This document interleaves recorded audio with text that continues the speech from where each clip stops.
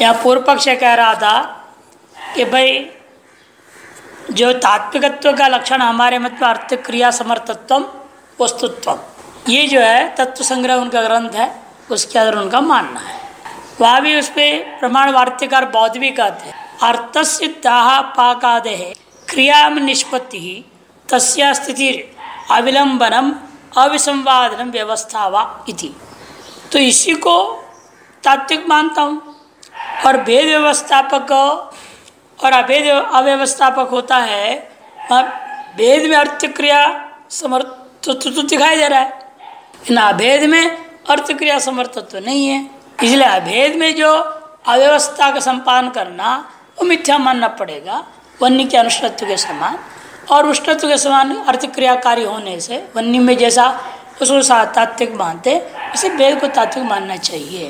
ये पूर्व पक्षी ने कहा था। उसके में सिद्धांत ने जवाब इतना क्या दिया था व्यवस्था या स्वसमान सत्ता का भेद कार्यत्व स्व अधिक सत्ता का भेद अनाक्षेपकत्वाद कह दिया था। और दूसरी बात अव्यवस्था या शुद्ध चैतन्य अभेद अकार्यत्व शुद्ध चैतन्य अभेद का वो कार्य नहीं है। जिसे तुम मिथ्या तो कार्य की कार्य करने में अक्षम हो गया अर्थ क्रिया कार्य न रहने से मिथ्या, ऐसा तुम नहीं कह सकते। तद अकार्य प्रयुक्त मिथ्यात्व से आपादित अशक्यवात् उपाध्य वेद से तंत्र तंत्रत्वात् उपाधि का वेद को हम वहाँ? तंत्र प्रधानता मानते हैं व्यवस्था के प्रति उपाधि भेद ही मुख्य कारण है। मैंने अनुसंधान और अनुसंधान की व्यवस्था अंतकंठ उपाधि, अज्ञान रूपी उपाधि दो ही पक्ष उठाया गया अभी तक। इन्हीं को हम मानते हैं प्रधान। किंच उपाधि कल्पितांश जीवानाम। व, अनुसंधानम आपाद्यते। अंशिनो ब्रह्मणो वा। इतना ही हम आपसे पूछना चाहेंगे भाई। ये जो आपने कहा, उपाधि के द्वारा चिन्ह में अंशभाव कल्पित है किसमें कल्पित है? जीव में? ये ब्रह्म में। न आद्य हस्तावच्छिन्न, न पादावच्छिन्न दुख आदि अनुसंधानात्। कहते हैं, हस्तावच्छिन्न, न पादावच्छिन्न दुख आदि अनुसंधानात्। हस्तावचिन चैतन्य के द्वारा, पादावचिन चैतन्य में दुख अनुभव हो रहा है, उसका अनुसंधान तो होता नहीं। इस अंश में तो नहीं हो सकता। पूर्व पक्षी का है, द्वैती। न च, न वयम भोगायत्राणा सांकर्यम आपाद्याम। ये न पादे में वेदना शिरसी में सुखमिति न सियात किंतु अनुसंधान मात्र। हमने जो है भोगायत्रम का सांकर्य सांकर्यम न आपाद्यामा। आपादन नहीं कर रहा हूँ। जिसके कारण से कहो कि पैर में जो वेदना है, सिर में सुख है, ऐसा ज्ञान नहीं होगा, ऐसा आप नहीं बोल सकते। किंतु हम अनुसंधान मात्र व्यवस्था दे रहे हैं।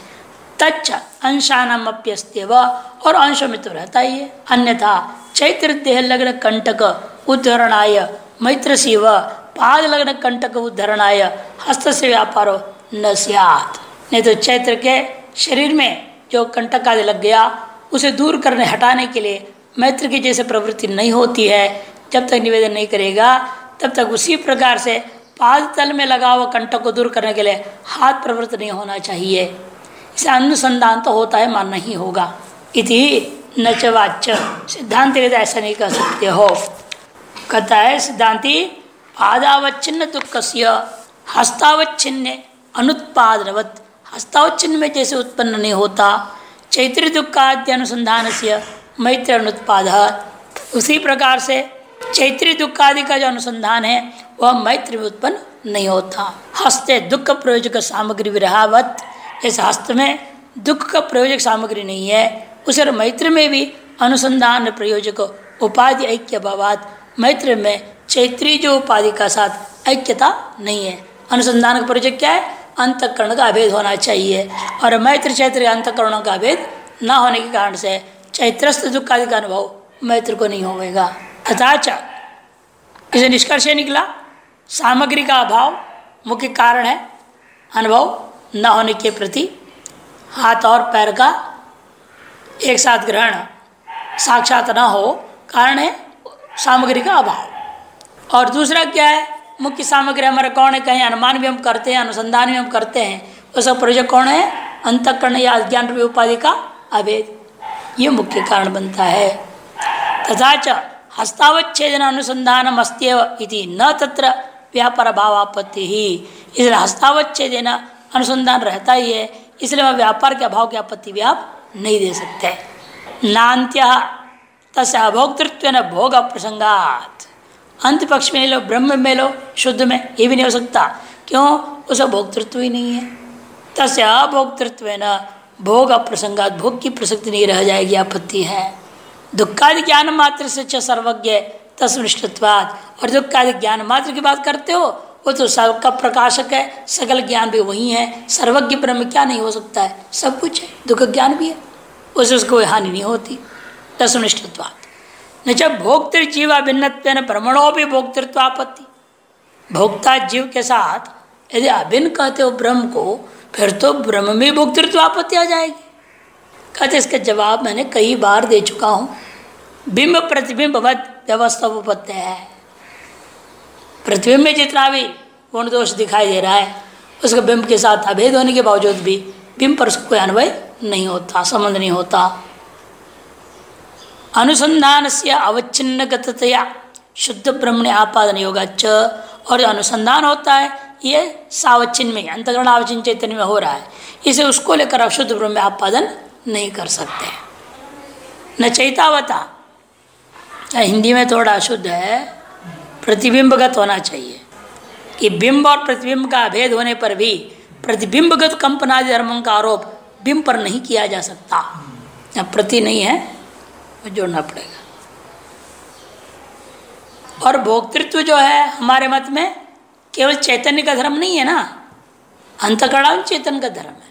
मन इंद्रिया युक्त का कठोपरिषद में कह दिया है, इसे केवल चेतन का धर्म तो है नहीं, इस शुद्ध चेतन में कहाँ से आएगा वो? आरोप नहीं हो पाएगा। न चैतावता, बंध मोक्ष और वैधिकरण्यम फिर पूर्व पक्ष का वही दोष। फिर बंधन रह गया। विशिष्ट चैतन्य में और मोक्ष शुद्ध में। फिर वैधिकरण दोष आगा कहते नहीं, अविद्यात्मक बंध से शुद्ध का तत्व न। अविद्यात्मक जो बंध है, वो तो शुद्ध में ही रहेगा। लेकिन जिस सुख दुख की तुम बात कहते हो, वो वहाँ नहीं है। वो तो अंतकरणांचित चैतन्य में लेकिन अंतकरणांचित चैतन्य में सुख दुख अनुभव हो रहा है वो सुख दुख का भी जो कारण बता विद्या है, रूपा बंध, वो कहाँ है? वो तो शुद्ध में ही है। क्या विद्या का आश्रय भी ब्रह्म है अविद्या का विषय भी ब्रह्म यह माना गया है। इसलिए अविद्यात्मक संबंध से शुद्ध तत्व सामनाधिकरण उपत्य सामनाधिकरण तो आसानी से सिद्ध हो जाता है।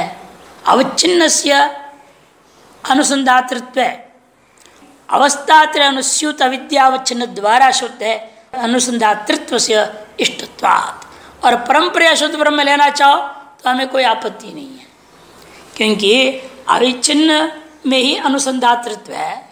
उसको, उसका भी कारणभूता अवस्थात्रय में अनुस्यूत जो विद्या उससे अवच्छिन्न के द्वारा आप शुद्ध में ले जाना चाहते हो, अनुसंधातृत्व तो हमें कोई आपत्ति नहीं, परंपरा कुछ भी आवे, कोई दोष नहीं है।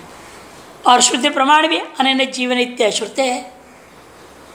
नाम रूपे व्याकरवाणी अन्य जीवनात्मा अनुप्रविश्य नाम रूपे व्याकरवाणी किंच एक और बात यथा स्वकर्णपुट परिच्छिन्न नादोपलम्ब है भागांतरवर्ती नाद अनुपलम्ब तथा सुख दुख आदि उपलम्ब अनुपलम्ब प्रतिबिंबाद के बाद अवच्छेदवाद में पहुँचते हैं जैसे स्वकर्ण पुटावच्छिन्न में आया हुआ जो नाद है शब्द है वही हमें उपलब्ध होता है।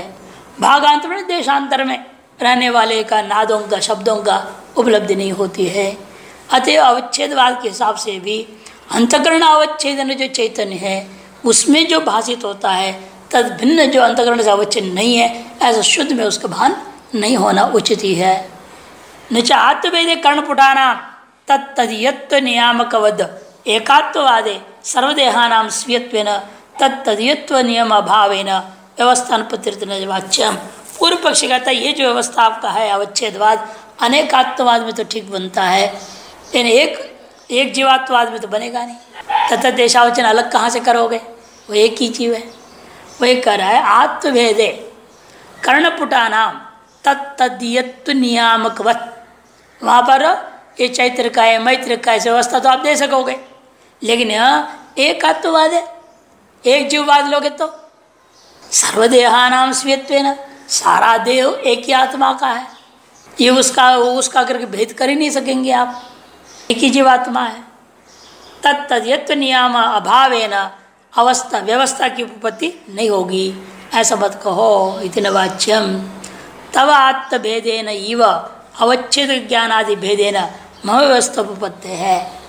जैसे आपका जो है, मत में आत्मभेद व्यवस्थापक होता है।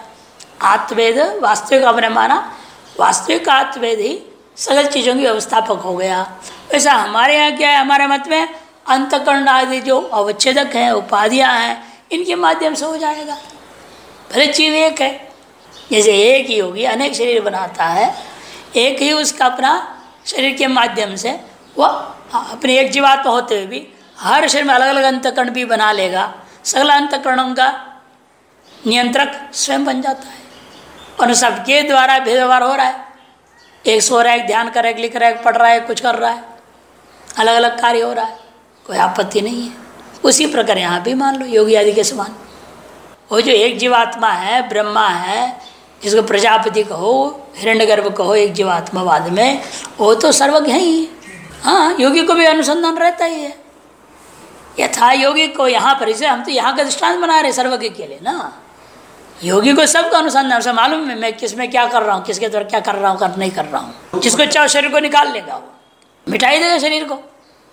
जाएगा, क्यों नहीं जाएगा? जब उसके संबंध नहीं रहेगा ना, उसके जिस तरह विवेक ज्ञान है, उसके लिए दृश्य मिथ्या है। एक ही चीज़ है, एक नाम से बोलो, उसके बाद खत्म। अरे, अनुभव तो होएगा, उसको दिखेगा, लेकिन संबंध नहीं होता, मिथ्या तो निश्चय हो जाएगा। जैसे आप ही जीवन मुक्त को नहीं दिख रहा केतु को उसको शरीर का। अनुभव नहीं होगा क्या दुख उसको? जीवन मुक्त को भी यहाँ होता है, लेकिन उसके से संबंध न होने से मैं दुखी हुए व्यवहार नहीं होता। उसको मिथ्या दर्शन है वो, दृश्य मात्र है वो। क्यों नहीं होगी? प्रतीत को कौन रोक देगा? इनमें इसको बाधा साम्राज्य ग्रहण वृत्ति कहते बाद पूर्व को ग्रहण कर रहा है। पचासों बार दृष्टान दिया है, एक सिनेमा एक्टर है। वो कह रहे हैं विजय इधरा वो जानता है वो तो अमिताभ बच्चन है। नहीं मालूम उसको उसका नाम। विजय बोल से क्यों व्यवहार कर रहा है? बाधा समझ व्यवहार करता है वो। वो जानता है मैं विजय नहीं हूँ। फिर भी व्यवहार कर रहा है। इसको बाधा समाज ग्रहण व्यवहार कहते हैं। उसको 24 घंटा पता है, मैं अमिताभ हूँ। होते हुए सारे व्यवहार कर देता है। रोना धोना, जो भी करना होगा, गुस्सा होना कुछ भी। उसका कोई संबंध है उसके साथ। उसी प्रकार या एक जीववाद में वो ईश्वर जो भी कहो, उसका नाम कुछ भी बोल लो, उसको सर्वज्ञ होने के नाते विवेक उसका बना हुआ है। हमारे से विवेकी थोड़ी है। दुख अनुभव हो गया तो दुखी हो जाएँगे हम। वैसे थोड़ी हो रहेगा। जैसे हम और में अंतर क्या सर्वज्ञ में फिर। ये बनती नहीं। एक जीववाद में सब बात बनता ही नहीं है। से तब आत्मभेदेन अवच्छेद ज्ञान आदि भेदेन मम व्यवस्थोपत्ते किंच व्यवस्थया भेदम वदन प्रष्टव्य इतना ही नहीं भाई, उनसे मैं पूछूँगा। आत्मभेद के आधार पर व्यवस्था को देने वाले उन द्वैतवादियों से हम पूछना चाहेंगे। क्या पूछना चाहोगे भाई? क्या ये व्यवस्था? न तावत धर्मवेद। एक शून्य सुख दुख दर्शन विचारात। भिन्नाश्रय धर्मोक्तो अन्योन्याश्रयात ये व्यवस्था के द्वारा जो भेद को कथन कर तो आपसे हम पूछना चाहेंगे, ये व्यवस्था क्या है? व्यवस्था के चक्कर में आप आत्मभेद मान रहे हो। यह व्यवस्था नहीं हो पा रही है। व्यवस्था संपादन करने के लिए मुझे आत्मवेद मानना होगा। क्या है भला व्यवस्था? किसका धर्म है ये व्यवस्था? पूछ रहे हैं। न तावत धर्मभेद। धर्मभेद को ही व्यवस्था नहीं कह सकते आप। धर्मभेद को ही व्यवस्था करके आप नहीं बोल सकते। घटत्व, पटत्व मठत्व ये धर्मभेद है। यही व्यवस्था है घटपट भेद के प्रति। ये धर्मभेद ना होता जैसे घट और कलश में धर्मभेद नहीं मानते। वो एक इसलिए। धर्मभेद ही का नाम व्यवस्था है। ऐसे भी कहो, या नहीं हो सकता कि एक कस्मिन सुख दुख दर्शन व्यविचारत एक में सुखत्व भी दुखत्व भी देख रहा है। एक में भूख प्यास, एक में ही तृप्ति। खुद में सब देख रहा है ना? वृद्ध कहाँ से आया धर्म? एक ही में। इसलिए एकस्मिन एव सुख दुख परस्पर विरोधी धर्म का दर्शन वे विचारात धर्म वैसे व्यवस्था भेद नहीं कह सकते आप। भिन्नाश्रय धर्मोक्त तो यदि भिन्नाश्रय धर्म में कहोगे, फिर तो अन्योन्याश्रय दोष होगा। अन्योन्याश्रयात। क्यों? कारण क्या है? कारण है कि धर्म भेद की व्यवस्था मानने के लिए आप भिन्न धर्मियों को मानना पड़ेगा। अब भिन्न धर्मी की व्यवस्था के लिए भिन्न धर्मों को मानना पड़ेगा। धर्माधीन धर्मी भेद और धर्माधीन धर्म भेद अनुनाशर हो जाएगा। यह आपत्ति है। अतएव धर्मी में भेद होने से धर्म भेद होगा, धर्म के भेद होने से धर्मी भेद होगा, कहोगे वैसे व्यवस्था प्रदान करना वो तो अनुनाश्र दोष आ जाएगा। और यदि विरुद्ध धर्म उगता यदि कहोगे नहीं भाई, विरुद्ध धर्म कोई मैं व्यवस्था कह दूँगा। परस्पर विरोधी धर्म ही व्यवस्थापक बनेंगे, इसी का व्यवस्था है। ये भी नहीं कह सकते हो। यदि ऐसे मानोगे धर्म विरोध का अर्थ क्या होगा बताओ मेरे को। ये दोनों धर्म परस्पर विरुद्ध हैं। इसका अर्थ क्या?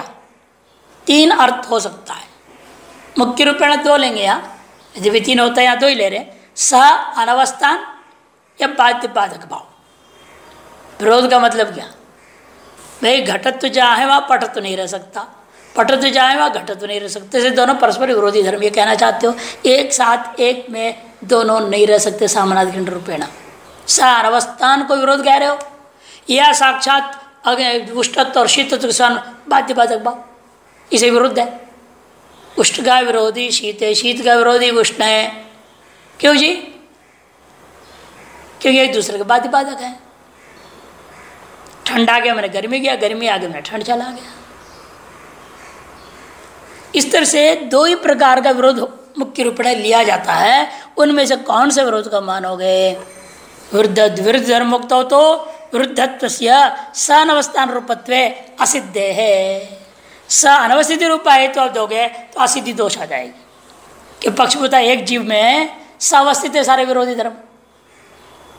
एक जीव आदमी को लेकर तुम उठाए हो ना बात, और उसे सुख दुख सारा परस्पर विरोधी को प्रतीति हो रही है वहाँ पर। इसे स अनवस्थिति कहाँ? सब में एक ही में अवस्थित एक ही दूसरा है ही नहीं तो एक ही में अवस्थित तो मानना ही पड़ेगा तुमको। अच्छा सहन अवस्थान रूप पक्ष लोगे उस सिद्धांत को लेके चलोगे तो असिद्धि दोष आ जाएगी। और बाध्य बाद को भाव रूपत्व तसे एक आश्रित रूपत्या भेद असाधकत्वाद। और बाध्य बाधक भाव से भी ग्रहण करोगे तो वो एक आश्रम में रह करके भी बाध्य बाधक हो सकता है। एक आश्रम में रहते हुए भी बाध्य बाधक भाव परस्पर हो सकता है। उसके लिए भिन्न आश्रय मानने की कोई ज़रूरत है उससे भेद का साधक नहीं हो सकता। जैसे एक ही पानी है उसी में आप उबाल दोगे तो गर्म। कुछ देर के बाद वही ठंडा। एक ही आश्रय में प्रवृत्त धर्म आ रहे कि नहीं आ रहे। और एक दूसरे बाध्य बाधक है भी। एक कालावच्छेदन सावस्थिति दोनों की हो नहीं सकती। भिन्न कालावच्छेदन रहने वाले हैं। यदि विरुद्ध धर्म हो तो अभी एक निरूपित होने के नाते ये भेद का साधक कहाँ हुआ? स्व आश्रय होता धर्मी में भेद उत्पन्न नहीं कर सकता।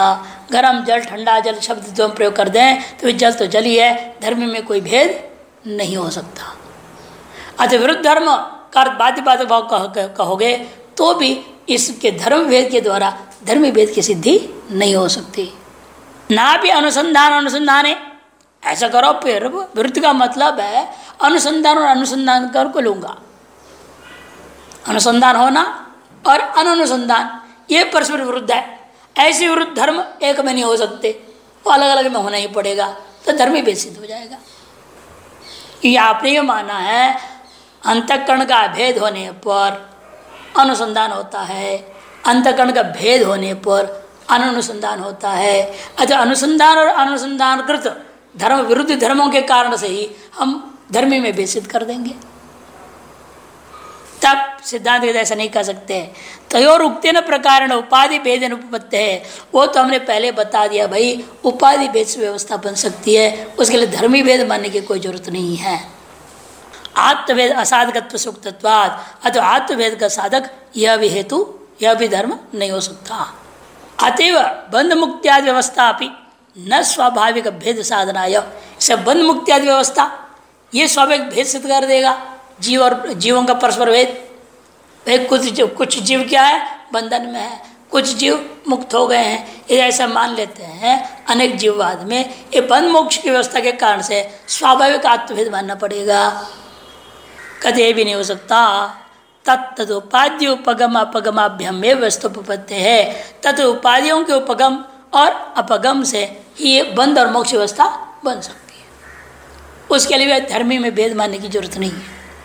निच उपाधिरपी उपहित निष्ठत्व आत्माश्रय आदि दोष यदि वो कहेगा उपाधि भी उपहित निष्ठ होने के नाते आत्माश्रय दोष आ जाएँगे ऐसे मत कहो उपाधिर अविशेषण व्यक्त्यंतर अनपेक्षत्व आत्माश्रय चतुर्नाम अनवकाशात कभी देखो यदि उपाधि अंतकरण आदि उपाधि शुद्ध की उपाधि है अतो उपहित की यह प्रश्न उठा करके उठाया पूर्व पक्ष ने। यदि शुद्ध के कहोगे तो फिर उसकी शुद्धत्व क्या रह गया? यदि उपाधि से ग्रस्त हो गया तो। व्याघात दोष हो जाए इसे उपहित का ही मानना पड़ेगा। और यदि द्वितीय पक्ष में सोपहित की उपाधि मानने पर आत्माश्वर दोष। या अन्योपहित किसका उपाधि बनेगा तो? अन्योन्याश्वर दोष। इसका उपाधि से वो उपहित हुआ, उसके उपाधि से ये उपहित हो जाएगा। नहीं तो अनवस्था चक्र के सारे दोष आ ही जाएँगे। तीसरे चौथे मानते जाओ। ये आ जाएगा यदि सिद्धा पूर्व पक्षी का कहने पर एक दोष दिया पूर्व पक्षी। आधिर न दोषा। उपाधिरपि उपहित निष्ठत्व न आत्मचर दोषो न। क्यों? उपाधिर अविशेषण न उपाधि को विशेषण नहीं मानते, इसलिए विद्यमान होने कोई ज़रूर नहीं होता। उपहित में उसका विद्यमानता अपेक्षित नहीं है। कोई भी उपाधि हो, उपहित में रहे, ये कोई ज़रूरी नहीं है कि आत्मसर दोष तुम दे दोगे। या अन्य में रहकर इसमें आगे ये भी करने की ज़रूरत नहीं है। अविद्यमान का प्रतीति का नाम ही तो उपाधि है।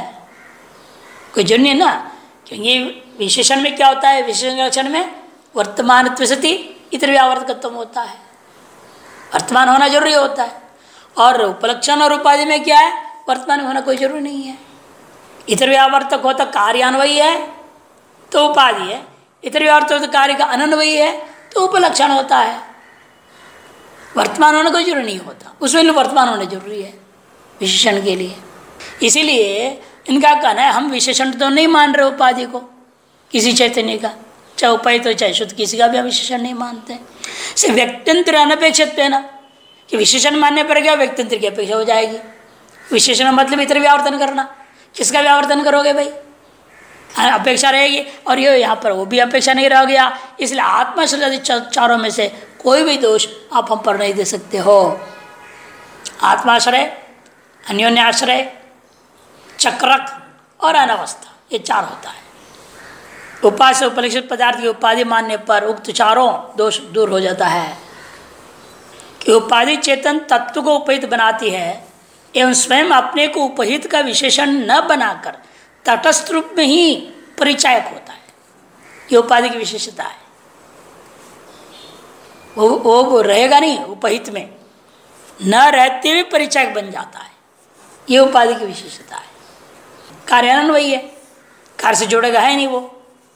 इसलिए कहते हैं कि उपाधि चेतन तत्व को भले उपाहित कर दे रहा है, लेकिन वह स्वयं अपने को उस उपहित का विशेषण न बनाकर केवल परिचय बना रहता है। अतएव तार्श परिचय को लेकर के आप आत्माश्र दोष नहीं दे सकते।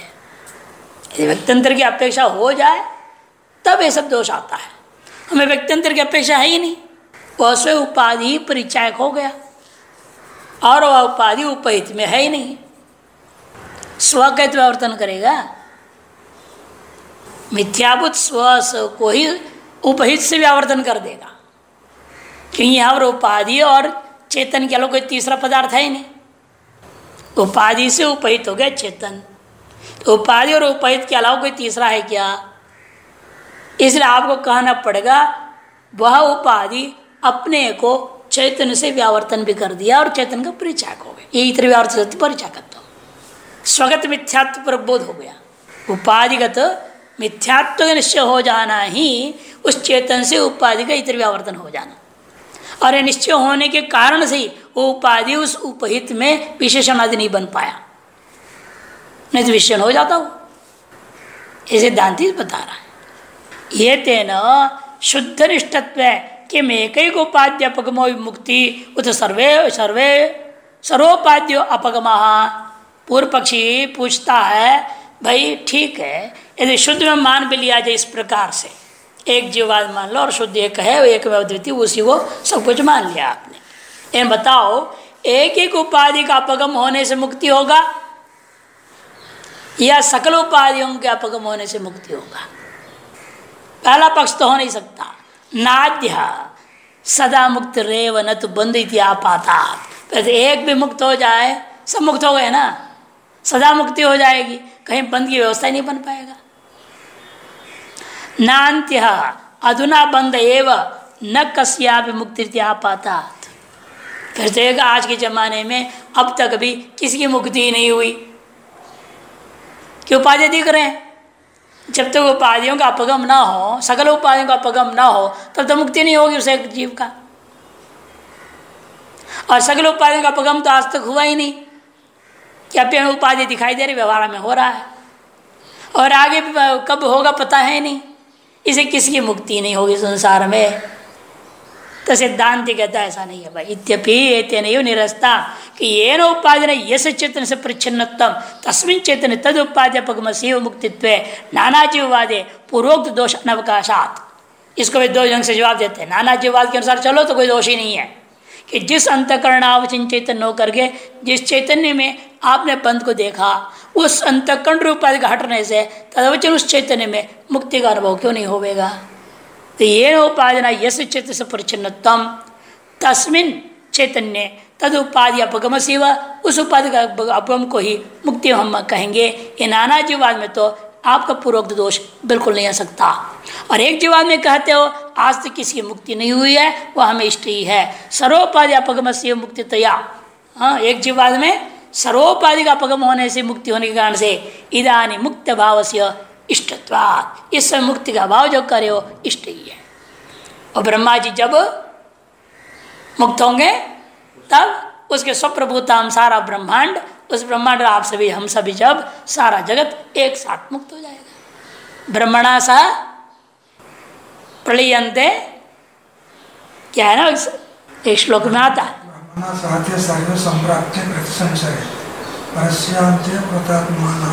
परम पदम और ब्रह्मा जी के साथ ब्रह्मा जी के साथ वही एक जीव है, उसकी हम सब कल्पना है। इसे वो जिस दिन मुक्ति को प्राप्त करेगा, मैंने उसका महाप्रलय जब होवेगा, तब जाकर हम सब की भी मुक्ति हो जाएगी। उसकी आयु पूरी हो गई, वो मुक्त हो जाएगा, उसके परिकल्पित हम सबकी मुक्ति होगी। उसी प्रकार जिस समय हम स्वप्न से जग जाते हैं, हमारे द्वारा परिकल्पित स्वप्न सकल पदार्थ मुक्त हो गए। मुक्त हुए कि नहीं, वो कहाँ रह गए अभी? हम जगते ही, हम जैसे जग जाते हैं, स्वप्न में जितने को भी हमने बना लिए थे, वो सब कहाँ गए? आपको कहना पड़ेगा, उन सब की मुक्ति हो गई। उसी प्रकार सारा जगत ब्रह्मांड को, एक जीववाद में उस सृष्टिकर्ता ईश्वर को, ब्रह्मा को जो भी है, उसके स्वप्रवध है ये। अरे उसकी जब आयु खत्म होती है उसकी उसको स्वप्न स्वप्न रूप है जगत समाप्त हो जाता है। साथ साथ हम उसके साथ हम सब मुक्त हो जाएँगे। इस समय कोई मुक्त है ही नहीं, कहते हो तो इष्ट ही है, सिद्धांत, इष्टत्वा। न उपाधि कथम भेद फिर पूर्व पक्षी पूछता है, लेकिन ये उपाधि भेद फिर कैसे बन पाएगा? तथा ही, उपाधि किम एक देश संबद्ध कृष्ण वा ये पूछने का मेरा अभिप्राय है, पूर्व पक्षी कहता है, यह उपाधि उस ब्रह्म का एक देश से संबंधित होकर उपाधि बन के उपहित कर देता है, या संपूर्ण ब्रह्म को ही संबद्ध होकर के पूरे ब्रह्म को ही उपहित। कैसे करता हो? आद्य तन्मते स्वाभाविक अंश अभाव औपाधिकत्व वाच्यम। फिर तो आपके मत में उस ब्रह्म में स्वाभाविक अंश तो है ही नहीं। एक कहाँ संबंध कैसे होगा? वहाँ पर औपाधि की माननी पड़ेगी तो अनवस्था दोष होगा। एक उपाधि को उस ब्रह्म का एक देश से संबंध करने के लिए उस एक देश में एक और उपाधि बननी पड़ेगी। और वो उपाधि स्वगत एक देश के संबंध करने के लिए और मानना पड़ेगा कि वहाँ भी कल्पित है नहीं, देश तो है नहीं। यह उचित नहीं बनता। तथा अनवस्था। क्योंकि ऐसा करोगे तो क्या हो जाएगा? अनवस्था हो जाएगी। अंत्य न भेदकता अंत में भेदकत्व ही खत्म हो जाएगा। अंत्य पक्ष मैंने पूरे ब्रह्म को एक ब्रह्म है, पूरे के साथ एक उपाय संबंध हो जाएगा तो अन्य उपाधियाँ कहाँ संबंध करेंगे? एक ही उपाय संबंध हो पाएगा तो भेद खत्म अपने आप भेदकत्व नहीं रह जाएगा उपाधि में। कृष्ण से एक उपाधि ग्रस्तवाद संपूर्ण ब्रह्म को एक उपाधि ने ग्रस्त कर रखा है तो अन्य उपाधियों का प्रश्न नहीं उठता तो ऐसे स्थिति में भेद कैसे होगा? गगनादवपि स्वाभाविक अंश भावे घटादि उपाधि संबंध न सियादेव गगनादियों में भी स्वाभाविक अंश के न रहने पर घटादि उपाय संबंध को लेकर भेद जो तुम कहते हो वो भी नहीं हो पाएगा तदुक्तम इस विषय में कहा भी है हमारे पूर्वाचार्यों ने न चेत उपाधि संबंध एक देश सर्वग एक देश अवस्था सैत सर्वगश्चेद न भेद कह द्वैतवादियों का अपना बात है ये ये न चेद उपाधि संबंध एक देश है तो सर्वग उपाधि का संबंध एक देश में होता है यह सर्वत्र होता है। एक देश है ना, एक देश में नहीं हो सकता, क्यों? अनवस्था सियात। सर्वगश्चित, तदपि ना, क्यों? न भेद का सियात, फिर तो भेद का नहीं रह जाएगा उपाधि। यदि चेन्न, सिद्धांत के ऐसे मत कहो सर्व विकल्प असहत्व मिथ्याभूत से उपाधि मिथ्या भेद प्रयोजकत्व से प्रागे उपादना। कदे देखो सर्व विकल्प असहत्व जहाँ सत्य उपाधि का संबंध स्थापित करना होता है, वह अवश्य समग्र और एक देश आदि विकल्प की कल्पना आप कर सकते हो। लेकिन यहाँ उपाधि खुद मिथ्या है। हमारी सारी उपाधि मिथ्या है, चाहे विद्या कहो, चाहे कुछ भी कहो, नाम कुछ भी बोलो। इसलिए कहते हैं सर्व विकल्प असह रूपा मिथ्याभूत एव उपाधि, मिथ्या भेद प्रयोजक वो भेद जो पैदा करो भी, मिथ्या भेद का प्रयोजक होने के नाते यह प्राग उपादनाते बात पूर्व में सिद्ध कर चुका हूँ, अतः हमारे मत में कोई दोष नहीं आता है। यथाच आत्मनाम सर्वगता नाम भेदे, व्यवस्था अनुपति जिस प्रकार से तुम्हारे लिए हम कहते हैं तुम्हारी आत्मा अनंत आत्मा मानते हो क्या सारी आत्मा व्यापक है कि नहीं है? मैं पूछूँगा। तुम्हारी सारी आत्मा है एक एक जो है, वो परिच्छिन्न नहीं कि अपरिच्छिन्न है? एक देश समझ सर्वदेश समझ ईश्वर के साथ। ये सब तुम्हारे ऊपर भी आएगा। और तुम व्यवस्था नहीं दे पाओगे कि तुम्हारे मत में जगत सत्य है, भेद सत्य है। तुम्हारे लिए हेड है सब। तुम्हारे लिए सब सिर दर्द बना रहेगा। व्यवस्था देना। क्या तुम सत्य भेद मान रहे हो? सत्य उपाधियाँ मान रहे हो? हमारे मिथ्या उपाधि है, मिथ्या भेद है, इसलिए कोई आपत्ति नहीं हमारे। ये कह रहे हैं कि यथाच आत्मन सर्वगता नाम भेद है व्यवस्था अनुपत्ति जैसे तुम्हारे मत में सर्वगत आत्मा है, सारी की सारी, उनमें भेद की व्यवस्था अनुपन्न हो जाती है। तथा प्रपंचित भाष्यकृत भी इस बात को हमारे भाष्यकार शंकराचार्य जी ने अनेकों जगह ये बात कह दिया है। अपने भाष्य में जगह जगह पर विचार करके उपनिषदों में, ब्रह्मसूत्र में, गीता में समझा चुके हैं। यदि आत्मा को व्यापक भी मानोगे और उसका भेद भी मानोगे ये परस्पर विरुद्ध बात है, यह नहीं हो सकता। तो व्यापक होगा, वह अभिन्न होगा, फिर भेद नहीं हो सकता। परस्पर विरुद्ध होने के नाते एक में दोनों बातें नहीं बन सकती है। यह बात तथा प्रपंचितम भाष्यकृत में आचार्य शंकर के द्वारा। इस प्रकार सद्भेद सिद्धि में अब जीव भेद के अनुकूल तर्कों का भी खंडन हो गया। और अब रह गया, भेद पंचक में, जीवों का भेद खंडन हो गया, जीव ईश्वर भेद खंडन हो गया। अब कहते जड़ेश्वर भेद और जड़ जीव भेद। जड़ का ईश्वर, जगत और ईश्वर का भेद और जगत और जीव का भेद। ये दो भेद का भी खंडन करेंगे। पाँच भेद मानते हैं वो लोग। उनमें से दो का पहले सामान्य भेद मात्र खंडन कर दिया। फिर विशेष भेद खंडन कर दिया, फिर जीवेश्वर भेद का खंडन किए और जीवों का परस्वर भेद भी खंडन हो चुका। अब जीव जगत और ईश्वर जगत के भेद खंडन करने आरंभ करते हैं। एवं जडेश भेदे, जड़ जीव भेदे च, जड़ जीव भेदे थोड़ा गलत छपी है। जड़ जीव भेदे च, तात्विक प्रमाणम नास्ती। इन भेदों के तात्विक होने में कोई भी प्रमाण नहीं है। क्यों नहीं है जी? क्या मैं तो अनुमान अनुमान अनेक अनुमान प्रस्तुत करूँगा। तो कहते नहीं हो सकता।